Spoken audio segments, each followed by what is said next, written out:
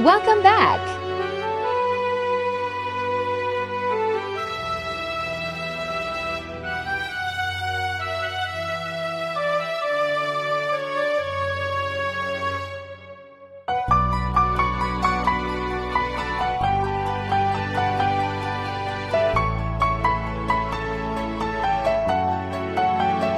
Subscribe for more content.